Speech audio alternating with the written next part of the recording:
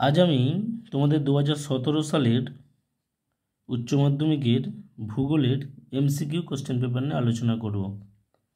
এর আগের ভিডিওগুলিতে আমি দু হাজার পনেরো ষোলো কোশ্চেন পেপার নিয়ে আলোচনা করেছিলাম এমসিকিউ। আজকে দু হাজার সতেরোর এমসিকিউ কোশ্চেন পেপার নিয়ে আলোচনা করব। দেখো, প্রথম কোশ্চেন কী আছে? প্রথম কোশ্চেনে বলা হয়েছে যে ছত্তিশগড়ের একটি কয়লা উৎপাদনকারী কেন্দ্র হলো। এখানে চারটি অপশান আছে, বাইলাডিলা, বিলাসপুর, ডালিরাঝাড়া এবং কোরবা। দেখো, এখানে একমাত্র কয়লা উৎপাদনকারী কেন্দ্র যদি বলে, সেক্ষেত্রে অ্যান্সার হবে কিন্তু কোরবা। কারণ বাইলাডিলা, বিলাসপুর এবং ডালিরাঝাড়া, এগুলো সবই কিন্তু লোয়াকরিক উৎপাদন কেন্দ্র। দু নম্বর কোশ্চেনে বলেছে যে, কার্যাবলীর ভিত্তিতে বারাণসী শহরটি হলো, এখানে বারাণসী শহরটি একটি ধর্মীয় শহর। ঠিক আছে? প্রশাসনিক শহর, প্রতিরক্ষামূলক শহর, শিল্পনগরী শহর, এগুলো কিন্তু করে রাখবে। প্রতিরক্ষামূলক শহর কোনগুলো? ব্যারাকপুর। শিল্পনগরী কোনগুলো? হলদিয়া, দুর্গাপুর। প্রশাসনিক শহর হিসেবে দিল্লির কথা আমরা বলতে পারি, ঠিক আছে? কোশ্চেন নাম্বার থ্রি কী বলেছে? জনবিবর্তন তত্ত্বের প্রথম পর্যায় বলতে বোঝায়। জনবিবর্তন তত্ত্বের প্রথম পর্যায় বলতে কি? পাক শিল্প বিপ্লবের সময়কালকে বোঝায়। অপশান বিতে বলেছে, শিল্প বিপ্লবের সময়কালকে বোঝায় অপশান সিতে বলেছে, শিল্প বিপ্লবের পরবর্তী সময়কালকে বোঝায় অপশান ডিতে বলেছে, বর্তমান সময়কালকে বোঝায় অপশান এ হচ্ছে এখানে সঠিক উত্তর। কারণ জনবিবর্তন তত্ত্বের প্রথম পর্যায় বলতে বোঝায় প্রাক শিল্প বিপ্লব, অর্থাৎ শিল্প বিপ্লবের ঠিক পূর্ববর্তী অবস্থাটাকে বোঝায়। সোনালী পোশাকের কর্মীরা যে কাজে নিযুক্ত থাকে তা হলো অপশান এতে বলা আছে কৃষিকাজ অপশান বিতে বলেছে শিল্প বিপ্লব অপশান সিতে বলেছে পরিবহন অপশান ডিতে বলেছে পরামর্শদান। এখানে অবশ্যই অ্যান্সার হবে কিন্তু পরামর্শদান।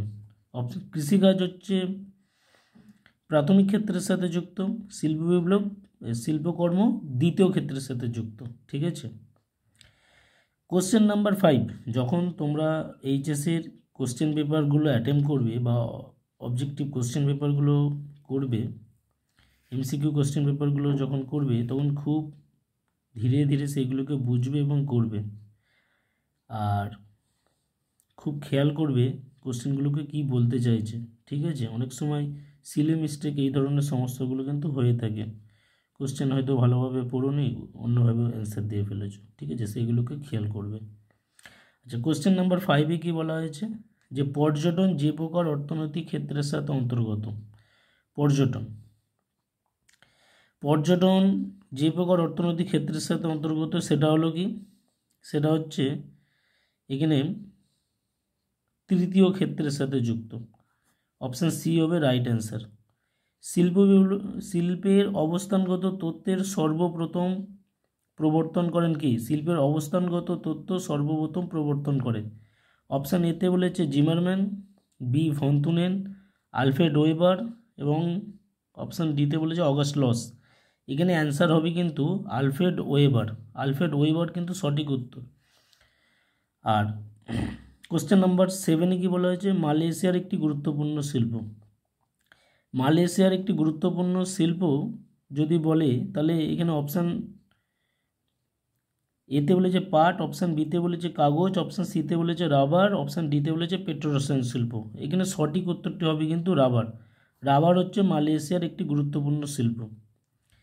যিনি প্রথম শস্য সমন্বয় ধারণাটি প্রবর্তন করেন, তার নাম হলো অপশান এতে বলেছে ওয়েভার অপশান বিতে বলেছে উইভার অপশান সিতে বলেছে ভন্তুনেন অপশান ডিতে বলেছে জিমারম্যান এখানে সঠিক অ্যান্সারটি হবে কিন্তু উইভার উইভার প্রথম ক্রপ কম্বিনেশনস বা শস্য সমন্বয় ধারণাটি প্রবর্তন করেছিলেন। কোশ্চেন নাম্বার নাইনে কি বলা হয়েছে? শুষ্ক কৃষি যে সকল অঞ্চলে প্রচলিত, সেখানে সর্বাধিক বৃষ্টিপাতের পরিমাণ হলো কত? অপশান এতে বলেছে পঁচিশ সেমি অপশান বিতে বলেছে পঞ্চাশ সেমি অপশান সিতে বলেছে পঁচাত্তর সেমি অপশান ডিতে বলেছে একশো সেমি। এখানে সঠিক উত্তর কিন্তু হবে পঁচাত্তর সেমি। বলেছে ভারতের একটি ধসপ্রবণ রাজ্য। দেখো, ভারতের ধসপ্রবণ রাজ্য মানে পার্বত্য অঞ্চলগুলোকে তোমাকে কিন্তু চিহ্নিত করতে হবে। এখানে চারটে অপশানের মধ্যে বলা হয়েছে, এতে হিমাচল প্রদেশ, বিতে উত্তরপ্রদেশ সিতে আছে অন্ধ্রপ্রদেশ ডিতে আছে মধ্যপ্রদেশ এখানে তোমার সঠিক উত্তরটি হবে হিমাচল প্রদেশ। ভারতের সঠিক, এই ভারতের ধসপ্রবণ রাজ্য হলো হিমাচল প্রদেশ। অবরোহণ প্রক্রিয়ার ফলে সৃষ্ট একটি ভূমিরূপ হলো মানে অবরোহণ মানে যেখানে ভূমির উচ্চতা হ্রাস পায়, আর আরোহণ মানে ভূমির উচ্চতা বৃদ্ধি পায়। অপশান এতে বলা হয়েছে ক্ষয়জাত পর্বত অপশান বিতে বলা হয়েছে আগ্নেয় পর্বত অপশান সি হচ্ছে প্লাবনভূমি অপশান ডি হচ্ছে বাজাতা। এখানে সঠিক উত্তর কিন্তু ক্ষয়জাত পর্বত হবে, ক্ষয়জাত। ভারতের একটি মিথেন গ্যাসের প্রধান উৎস হলো, ভারতের মিথেন গ্যাসের প্রধান উৎস হলো, এখানে চারটি অপশান যে আছে, তার মধ্যে সঠিক উত্তর হবে কিন্তু ধান চাষের জমি। ধান চাষের জমি কিন্তু মিথেন গ্যাসের একটি প্রধান উৎস। তারপরে কোশ্চেন নাম্বার থার্টিনে বলেছে যে, দক্ষিণ আমেরিকার আমাজন নদীর অববাহিকা অঞ্চলটি যে প্রকার জলবায়ু অঞ্চলের অন্তর্গত, দক্ষিণ আমেরিকার আমাজন নদীর অববাহিকাটি যে প্রকার জলবায়ু অঞ্চলের অন্তর্গত তা হলো কি? এখানে চারটি জলবায়ু অঞ্চল আছে। দক্ষিণ আমেরিকার আমাজন অববাহিকাটি নিরক্ষীয় জলবায়ু অঞ্চলের অন্তর্গত, নিরক্ষীয় জলবায়ু অঞ্চলের অন্তর্গত। কোশ্চেন নাম্বার ফোরটিনে কি বলা আছে জেড বায়ুপ্রবাহ দেখা যায়। জেড বায়ুপ্রবাহ দেখা যায়, উত্তর সঠিক উত্তর হবে ঊর্ধ্ব টপোস্ফিয়ারে। জেড বায়ুপ্রবাহ দেখা যায়, চারটি অপশানের মধ্যে সঠিক উত্তর হবে ঊর্ধ্ব টপোস্ফিয়ারে।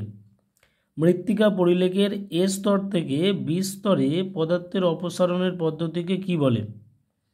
স্তর থেকে বি স্তরে পদার্থের অপসারণের পদ্ধতিকে বলা হয় কিন্তু এলুভিয়েশন।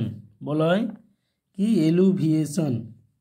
আর যে স্তরে সঞ্চিত হয় তাকে বলা হয় ইলুভিয়েশনস। স্পটোসল মৃত্তিকার উদাহরণ হলো, স্পটোসল মৃত্তিকার উদাহরণ হলো, এখানে চারটি অপশানের মধ্যে সঠিক উত্তর হবে কিন্তু অপশান এ পটজল মৃত্তিকা। স্পটোসল মৃত্তিকা উদাহরণ হচ্ছে পটজল কোশ্চেন নাম্বার সেভেন্টিনে কি বলা হয়েছে? শতদ্র নদী যে প্রকার নদীর উদাহরণ। শতদ্র নদী যে প্রকার নদীর উদাহরণ, এখানে সঠিক হবে পূর্ববর্তী নদীর উদাহরণ। পূর্ববর্তী নদীর উদাহরণ। আমি তোমাদের পূর্ববর্তী নদীর ধারণা ভিডিওতে কিন্তু জানিয়েছি। দেখে নিও। কোয়েশ্চেন নাম্বার এইটিনে বলা হয়েছে, নদীর পুনর্যৌবন লাভের ফলে গঠিত হয় না। এটাকে খেয়াল রাখবে, গঠিত হয় না, এমন একটি ভূমিরূপ। চারটে অপশানের মধ্যে, উপত্যকার মধ্যে উপত্যকা নিকবিন্দু এবং নদীমঞ্চ, এই তিনটি কিন্তু নদীর পুনর্যৌবন লাভের ফলে সৃষ্টি হয়। একমাত্র মোনাডক, মোনাটনকটা কিন্তু তৈরি হয় না। কোশ্চেন নাম্বার নাইনটিনে বলা হয়েছে যে, সামুদ্রিক সঞ্চয়ের ফলে সৃষ্ট বাঁধের একাংশ যদি সমুদ্রে প্রক্ষিপ্ত হয় এবং অন্য প্রান্ত স্থলভাগের সঙ্গে যুক্ত থাকে, তাকে কি বলে? সঠিক উত্তরটি হবে কিন্তু স্পিড। সঠিক উত্তরটি হবে কিন্তু স্পিড।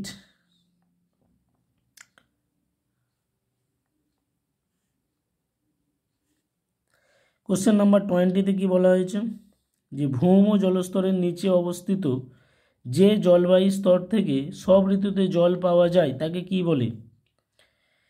ভৌম জলস্তরের নিচে অবস্থিত যে জলবায়ু স্তর থেকে সব ঋতুতেই জল পাওয়া যায়।